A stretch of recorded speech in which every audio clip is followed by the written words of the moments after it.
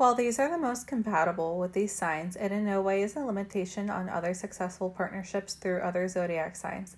There are many other pairings that can work together. However, these are the pairings that will be easygoing without much compromise.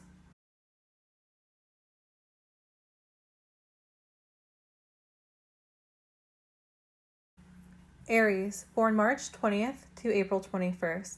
They are most compatible with Gemini, Leo, and Sagittarius.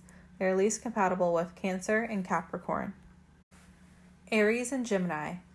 Aries and Gemini have a strong bond when it comes to sharing their desires for communication.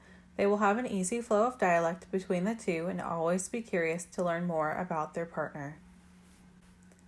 With their emotions, both are passionate individuals, but Gemini will struggle with letting their guard down early on in their relationship.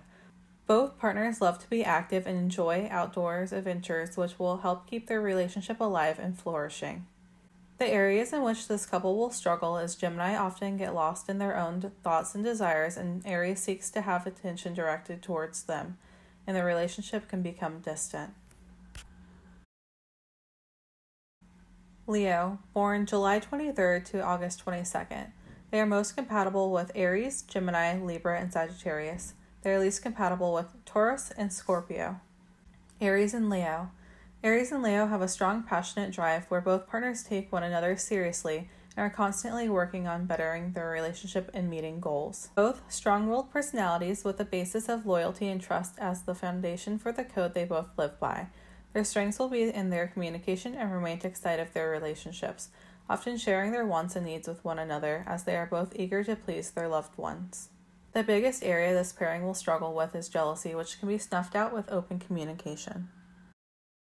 Sagittarius, born November 23rd to December 21st. They're most compatible with Aries, Leo, Libra, and Aquarius. Least compatible with Virgo and Pisces. Aries and Sagittarius. Aries and Sagittarius are both fire signs, with passion being one of their biggest similarities. They share a deep desire to connect both physically and mentally, sharing in the excitement of learning all of the details of their partner. Both partners love to communicate and share all of their ideas, no matter how abstract they can become.